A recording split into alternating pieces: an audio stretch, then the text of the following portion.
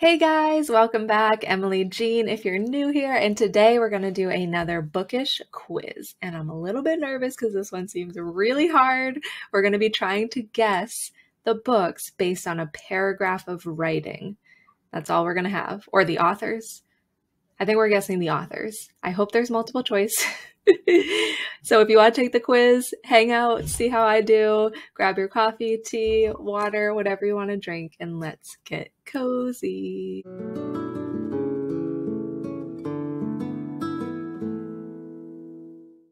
Okay, can we identify a writer by reading a random paragraph? Not so sure. I think there's multiple choice, so that's going to help. Okay. All of these paragraphs have been randomly selected from best selling novels. Can you match the paragraphs to the author who wrote them? Okay, first one. On his way out, a station wagon pulled in. There was a roof rack on top, and the wagon was piled high with kids and luggage. The wagon had New York plates, and the driver, who rolled down his window to ask Harry how to get to US 21 going north, had a New York accent. Harry gave the New York fellow very clear directions on how to get to Highway 21.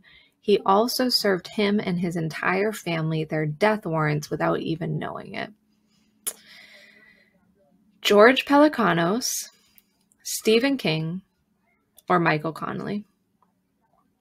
Okay, so I almost want to say Michael Connelly because Harry and Harry Bosch, that detective series is one of my favorite of all time but this does not feel like Michael Connelly to me.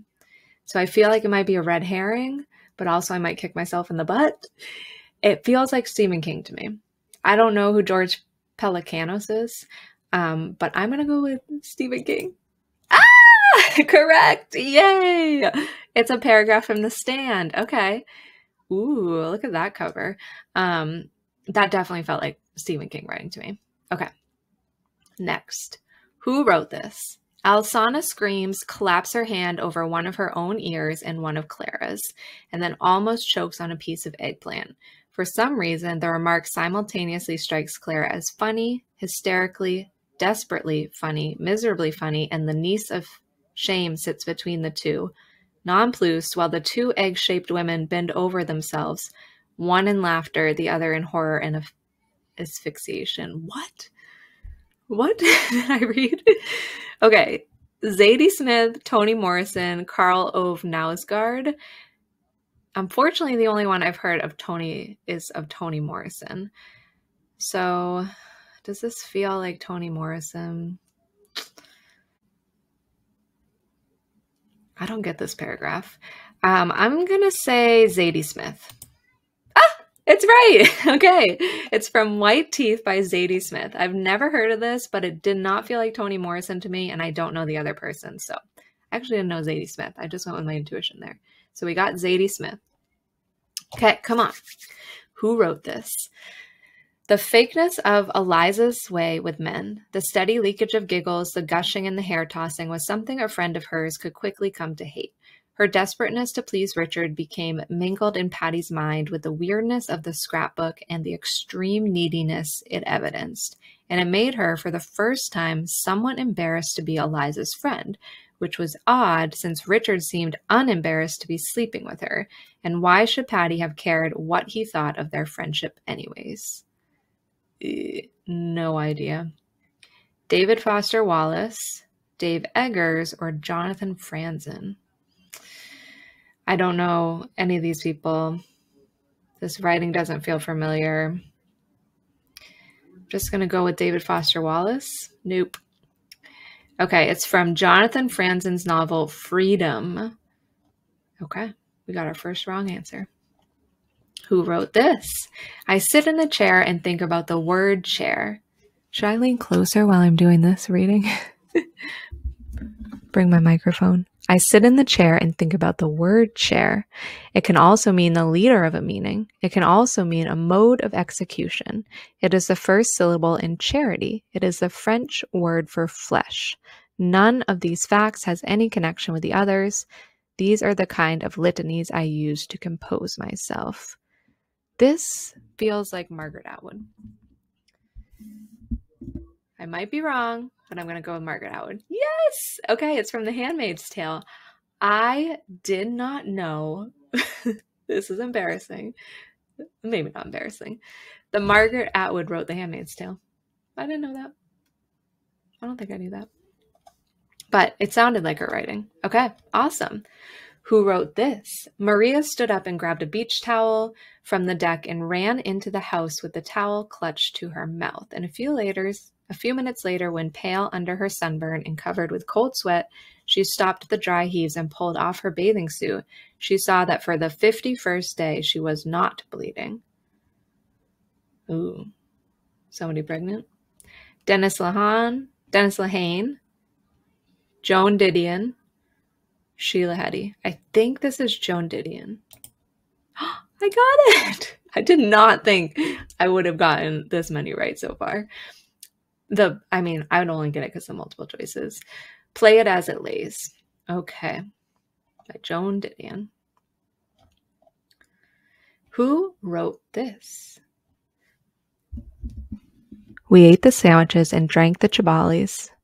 Chablis? and watched the country out of the window. The grain was just beginning to ripen and the fields were full of poppies. The pasture land was green and there were fine trees and sometimes big rigor, rivers and chateaux off the trees. Ooh, Cormac McCarthy, Cormac McCarthy, James Patterson, or Ernest Hemingway.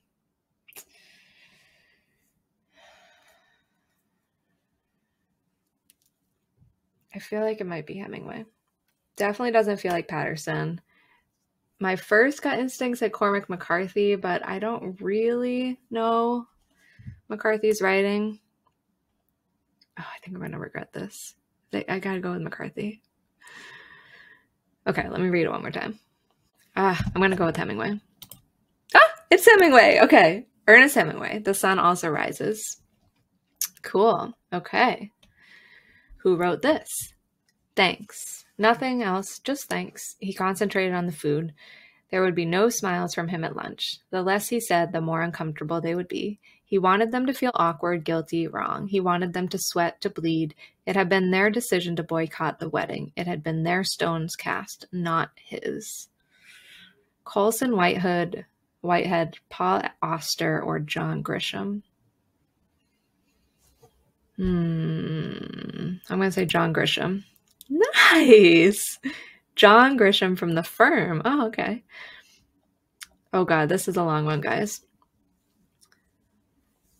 Who wrote this? In the hallway of Franklin House, ripped poster of a clockwork orange on his door? No, the next room. The Ronnie Reagan calendar on the door? Is that a joke?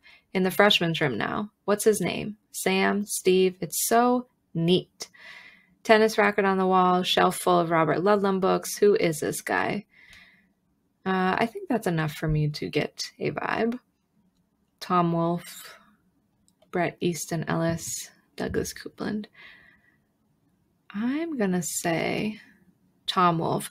This writing really reminds me of a separate piece, um, which was written by John Knowles. Just something about this writing. Uh, I'm going to say Tom Wolfe. Nope. This is from Bret Easton Ellis's The Rules of Attraction. Okay, now we know. Who wrote this? Darling, Cozy said, opening the door before he got to it. She was all made up, her complexion glowing, and he thought, as he often did, what a beautiful woman she was. Eyes perfectly almond shaped, a startling symmetry to her features. Her crushed silk dress was cinched tightly at the waist and made her figure look very hourglassy. He hugged her, carefully avoiding her lips, painted pink and lined in darker pink. Amy Tan, Alice Walker, Shaman, Sh- Chimamanda Ngozi Adichie.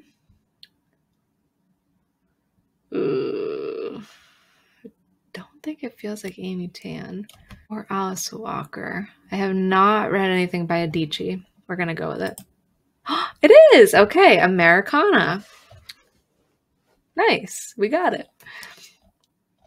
One, two, three, four, five, six. There's six more. Okay. Okay, who wrote this? Oh, yeah, she said, rolling a ma- mascara eye at me in the mirror. Listen to this. I was at the party last night, really drunk and sort of slam dancing, right? Everybody was crashing into everybody else, and for some reason, this girl twin was walking through the dance floor, and pow, I slammed right into her really hard. So then she says something rude, like totally uncalled for. And the first thing I knew, I'd throw my beer in her face. It was that kind of night. I'd already had about six beers thrown on me, and it just seemed like the thing to do, you know? I don't know what this is, but I want to read it. Donna Tartt, Chuck Klosterman, Gary Scheidengart, Shatangart, Shatangart. I don't know, Gary. I'm sorry. I don't know any of these authors. Well, I know Chuck Klosterman. This is not Chuck Klosterman. I will be very surprised if it is, um, which means it probably is going to be. I'm going to go Donna Tartt because it just feels like a woman's writing it, which is probably really sexist to say, but for some reason it does.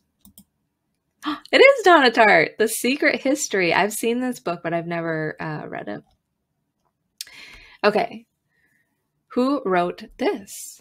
I loved helping Meg to dress or undress because her body still had the solid self consciousness, the sweet indifference, something of the milky smell of a baby's body. Cynthia's body had long ago been pared down, shaped, and altered into Cynthia. We all liked to hug Meg, press and nuzzle her. Sometimes she would scowl and beat us off, and this forthright independence, this ferocious bashfulness, simply made her more appealing, more apt to be tormented and tickled in the way of family love. Alice Munro, Joyce Carol Oates, or Philip Roth. I feel like Philip Roth. Ah, oh, darn. Alice Munro. The Progress of Love. Okay.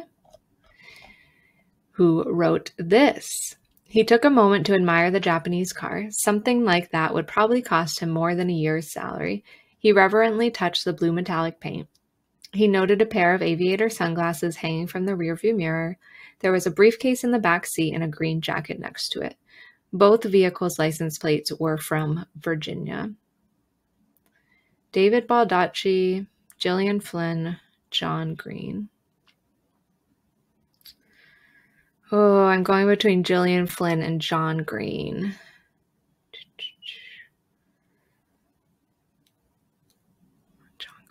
My instinct says Gillian Flynn, but part of me also wants to do John Green. I'm going to do Gillian Flynn. Darn, neither of them. So I wasn't even going between the right two. David Baldacci. I've never read any of his books. Zero Day. Okay. Who wrote this? It smells clean which means you only smell chemicals, cleaning stuff, or perfumes. You have to know the pine smell is covering up shit somewhere. Lemon means somebody vomited. Roses are urine. After an afternoon at St. Anthony's, you never want to smell another rose the rest of your life. okay. I've read Chuck Palahniuk before. Um, I think this sounds more like Bukowski. I haven't read any Irvine Welsh. Oh, it is Palahniuk. It's from Choke. Oh my god, this book is so disturbing. It's probably been 15 years since I've read it. It's so disturbing, but really good. Um, and I don't remember that. So it was Palahniuk. Oh, darn. Okay. Who wrote this? The concierge said he would call, but I'm also wondering could it have fallen out somewhere? She looked helplessly at the marble floor around their feet. Sasha relaxed slightly. This woman was the type who annoyed people without meaning to. Apology shadowed her movements even now as she followed Alex to the concierge desk. Sasha trailed behind. I don't know any of these people. Jennifer Weiner, Jennifer Egan, Sloane Crosley. I'm going to go with Sloane Crosley. Nope. Jennifer Egan, A Visit from the Goon Squad. Okay, that cover's kind of cool. National Book Critics Circle Award winner. Okay, I think we're on our last one. Last one. In those final weeks, I knew better than to walk near my mother. Most of the time, she just looked at me with a stinky, with the stink eye. but sometimes, without warning, she would grab me by my throat and hang on until I pried her fingers from me. She didn't bother talking to me unless it was to make death threats. When you grow up, you'll meet me in a dark alley when you least expect it, and then I'll kill you and nobody will know I did it. Literally gloating as she said this. Yikes, what is this book? Jhumpa Lahiri, Elizabeth Gilbert, or Junot Diaz. I don't know Lahiri or Diaz. I don't think it feels like Elizabeth Gilbert, but I could be totally wrong because I've said that like four times in this video. Let's go with Lahiri. Nope. The brief The brief wondrous life of Oscar. Wow. Sweet. Okay. So I got 8 out of 15. What about you guys? I feel like that was pretty good. I'm happy with that. 8 out of 15. Um, if I hadn't had multiple choice, it probably would have been zero. And if I had had to guess the name of the book, definitely would have been zero too. But we got 8 out of 15. So better than 72% of all other quiz takers. oh my gosh. okay, so if you took this with me, let me know. Thank you so much for hanging out. I appreciate each and every one of you, and hopefully, I'll see you in another video very soon. Bye, guys.